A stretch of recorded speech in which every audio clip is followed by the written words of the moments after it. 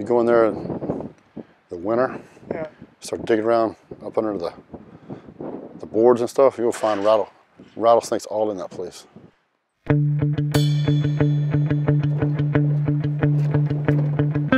know, one of the first things you know my father taught me was everything out here, every bush, plant has a thorn on it or a sticker. It's, every snake out here is poisonous. Every spider out here seems like it's poisonous. And so it's just a, it's a tough place to, tough place to grow up. So and to scratch out a living. So very peaceful, but it's a very, uh, very unforgiving country.